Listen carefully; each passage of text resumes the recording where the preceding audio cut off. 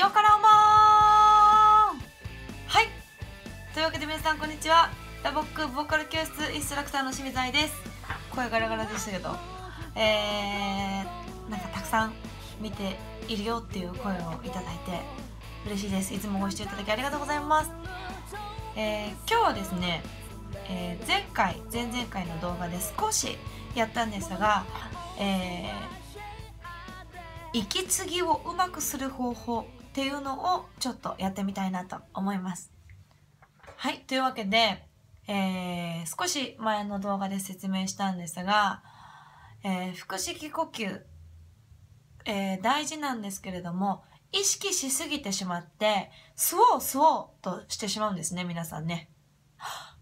そうすると、どうしても、えー、吸おうとすると肩が上がってしまって、えー、首が詰まって顎が上がってっていう感じで、えー、この、えちょうど軌道になる部分が詰まった感じになってしまうので、できだ、できるだけですね、上半身をリラックスしていきたいんですが、えその、えブレスの方法っていうのをちょっとやってみるので、え皆さんも一緒にやってみてください。えまずは、えたくさん吐いたらたくさん空気が勝手に戻ってくるよっていう原理をもう少しちょっと説明していきたいんですけれども、えー、学校の授業なんかで使ったね、スポイト、皆さん覚えてますか、えー、上にポンプがついていて、えー、下はちょっと管になってると思うんですけど、それでたくさん一気にお水を、えー、吸おうと思った時に皆さんどうしますかね？多分上のポンプの部分の空気をできるだけギューッとなくしちゃうと思うんですよね。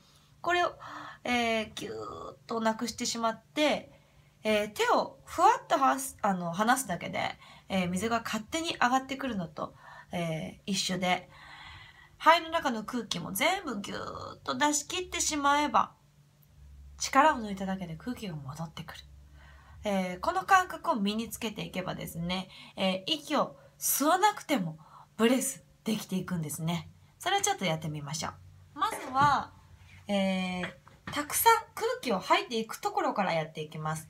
空気を吐くときは、サシスセソのスーで、えー、歯で息をせき止めるような感じで、スーで吐いていきます。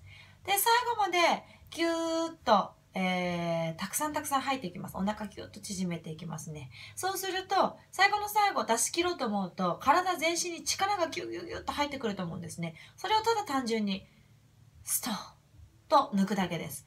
その時、お腹だけじゃなくて、えー、肩、えー、胸、えー、頬のあたりですね。あと耳、えー、頭皮など全体的にダラーンと抜いてあげましょう。で、えっ、ー、と、抜いた時のイメージなんですけど、ため息ちょっと一回ついてみましょう。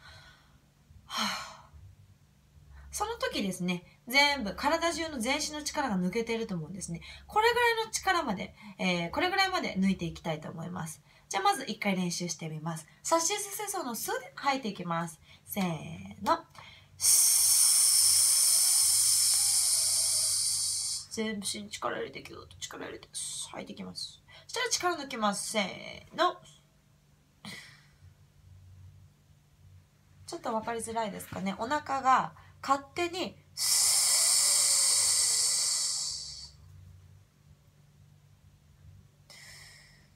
ふわーっと空気が戻ってくる感覚になるんですね。これが力を抜くだけのブレスです。吸わなくても勝手に戻ってくる。もう一回練習してみましょうかね。いきます。吸で吐きます。せーの。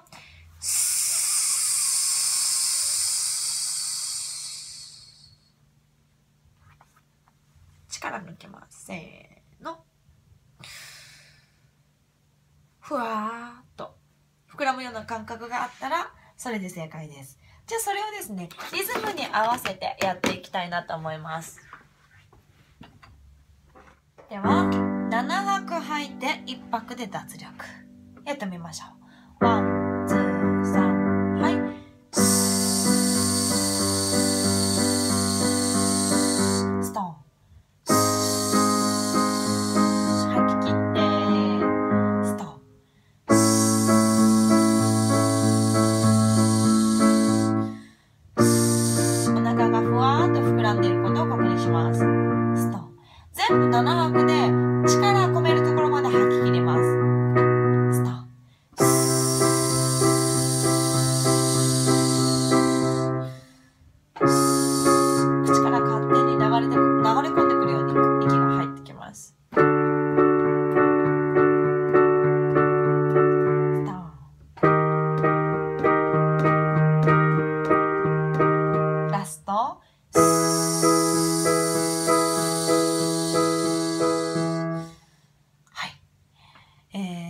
くさん吐けているかどうかっていうのがポイントになってきますね。全部ぎゅっと7拍で吐いてしまえると、えー、力抜いただけでふわっと戻ってくるので、えー、これを繰り返していくことに、えー、いくほどにですね、戻ってくるスピードっていうのも、息が戻ってくるスピードっていうのも速くなってくるので、えー、日々のトレーニングでぜひやってみてください。ではもう一個だけいきましょうかね。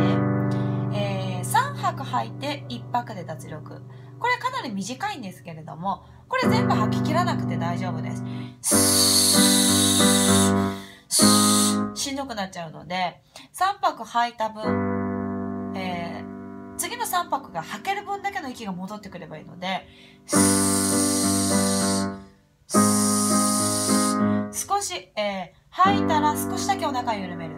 吐いたら少しだけお腹緩める。これで、えー、どんどんどんどんえー、回っていけると思います。えー、これ、歌の中にも使いやすい、え、タイム感なので、えこんだけお腹を少し緩めるだけで、え空気が戻ってくるんだなっていう感覚を身につけてほしいです。行ってみましょう。3拍吐いて1拍で脱力。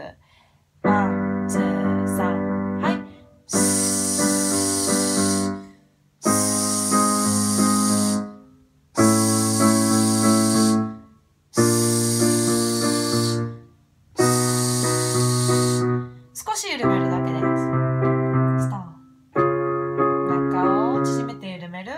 縮めて緩める。緩める。あと2回いきます。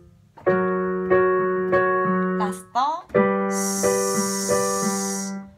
はい。というわけでどうなったでしょうか。皆さんできましたかね。